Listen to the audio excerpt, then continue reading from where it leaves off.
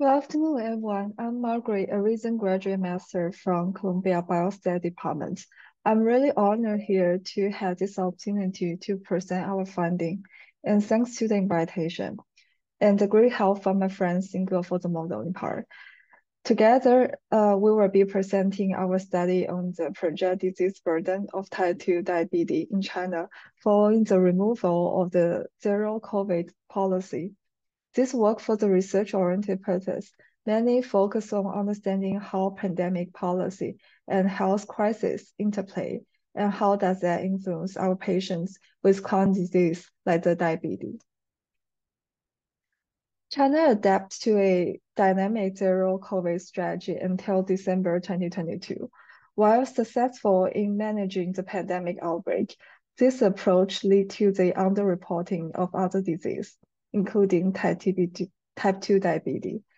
Diabetes is a growing concern globally and expect to see a significant rise in the prevalence in China from 2020 to 2030.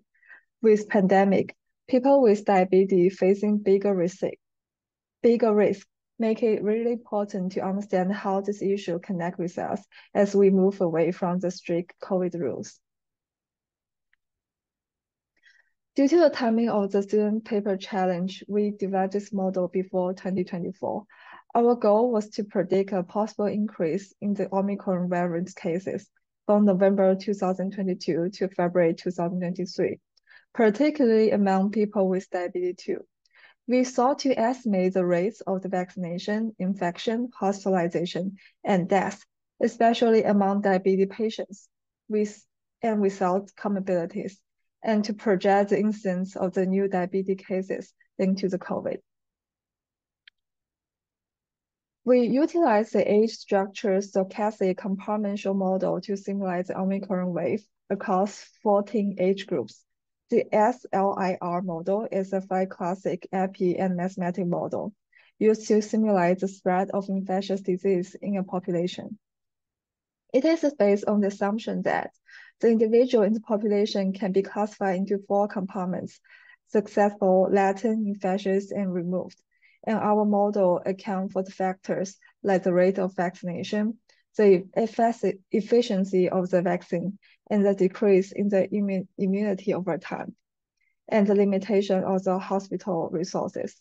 Additionally, we use the Monte Carlo method for simulating the development of the newly onset diabetes and the comorbidity in the recovered individual. For the basic model structure, part A is the SLIR transmission I mentioned. B is the disease progression. C is hospital resources constraint. D is vaccination effectiveness. E is the antiviral drug. F is outcome in the DM and the comorbidity. G is the post accurate in the DM. So the main focus in the study in the part is the part F and G. Noticeably in the part F, the comorbidity in the DM patients include a various like the heart failure, the PVD, the liver disease, the cancer, the dementia, and so on. We did not consider the situation in children aged under 18 years old. And for G parts, we focus on the two groups. So it's the patients without diabetes who developed the new onset DM and the DM patient who experience new onset comorbidities. So now we are showing our estimates indicate that the peak of the hospitalization in general occurs around 23 January, reaching like 15.1 million individual. The peak is also mirrored in the ICU admission and the fatalities as well. The plots underneath reveal a consistent pattern. The older age group exhibits a higher rate of hospital admission, ICU admission, and mortality. The strand aligned with older group, the older age group also has highest proportion of the unvaccinated individuals. Importantly, we also found out the burden on the diabetes patient was significantly higher, especially for those with comorbidities. This finding underscores the critical need for the target healthcare strategy for the at-risk or vulnerable population.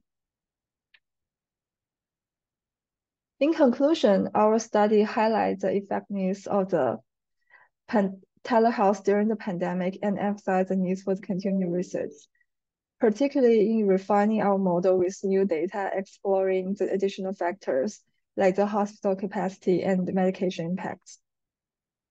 The flexibility of our model for global application and addressing at-risk patient group is vital for optimizing the healthcare delivery post-pandemic.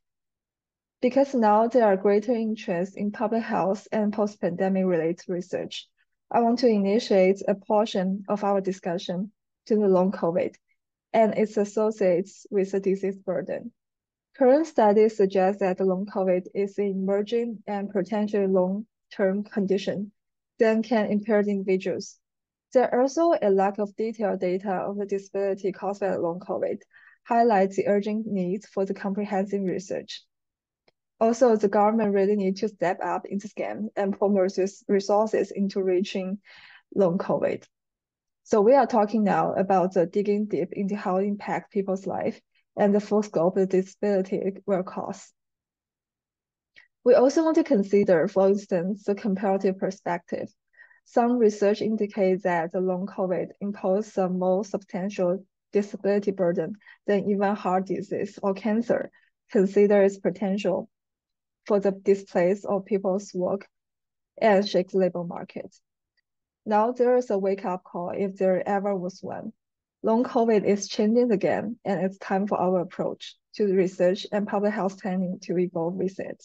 Thank you so much.